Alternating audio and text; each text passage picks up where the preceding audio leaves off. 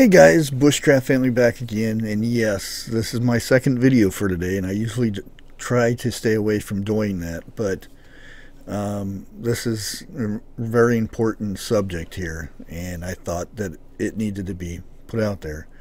Um, Lake Faerie Preppers sent me this this link because I, I, as you may know, I last last week I did a, a video about um, in Canada, they were doing the the no the no juice, no food thing, and now it's here in the United States. So it's something that we have to um, get ready for. And for those who aren't right now, it, it's it's a bit scary. And um, yeah, so I'm going to go over a, a, few articles of, and, and believe it or not, um, I found quite a few of these articles, but I'm just going to do the first two that's that that has popped up, and well, let's go ahead and jump over here real quick. As you can see here, let me see if I can zoom this in a little bit so you can see it better screen. Yep. No juice, no food. Spokane, which is Spokane, Washington, uh, Christmas food pantry requires proof of juice or a test to get food. Yep. For those people that are need for Christmas, for a Christmas dinner, you have to you have to have one of these two things before you can get food from from this place and for those those who that I did get comments from and most because they were not very nice comments that I got when I talked about this with Canada and said that it eventually it will make its way here. And I got called fearmonger, this and that, and all kinds of stuff. Here's your proof. This is what's happening, and this is what is here now, and will start spreading all over the place. Um, and let me go ahead and zoom back out to normal here. And we're going to go over to this other one. I'm not going to play the video because I don't want to get in trouble. In this same area, Spokane, Spokane customer, customers support Boots Bakery amid juiced requirement backlash. Um, and they're getting a backlash because the only way you can get served in this bakery lounge is if you have proof of juice from, you know, this stuff. And yeah, Boots Bakery and Lounge owner, I'm not going to say her name, but you can read it.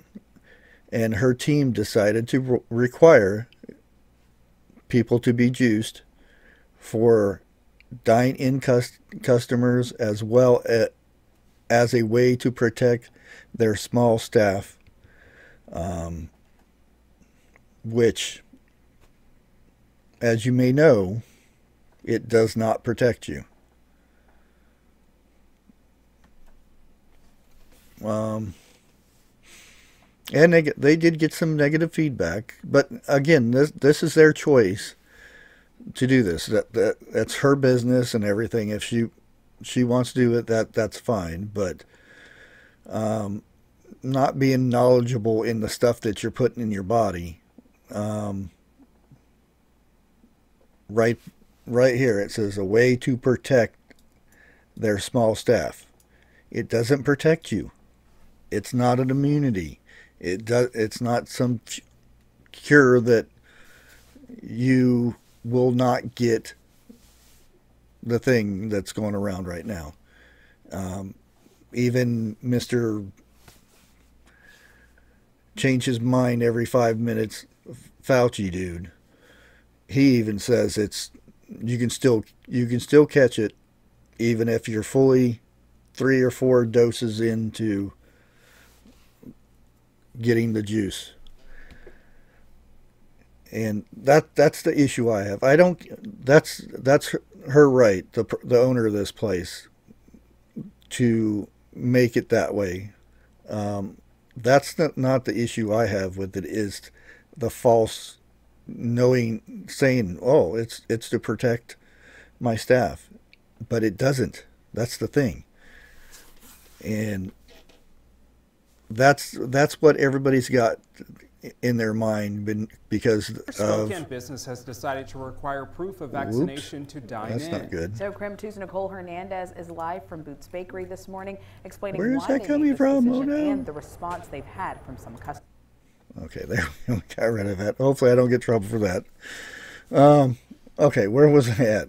Um, yeah, that's see, that's what I'm getting at. Is um, yeah, it's she's a private owner of this business. That's her her choice to do it. But all I can say is, you, get social media, the the big time media companies, CNN and all that places they they tell you how you how you're you're protected and you won't get it and if you you're fully fully juiced you're you're good to go well there you have it. It's it's not true. L- learn this learn this stuff but you know darn good and well this is not going to be the end. There's other other places that are are doing this now. Um, when when you have a charitable place a food a food bank a pantry doing this this is in the United States Sp- Spokane Washington um, eventually it, it will spread to the rest of the country and soon we will not be able to um, go shopping, go to a restaurant, um, whatever the case may be. Um, it, it's it's coming, guys. So um, be ready. That's all I can say.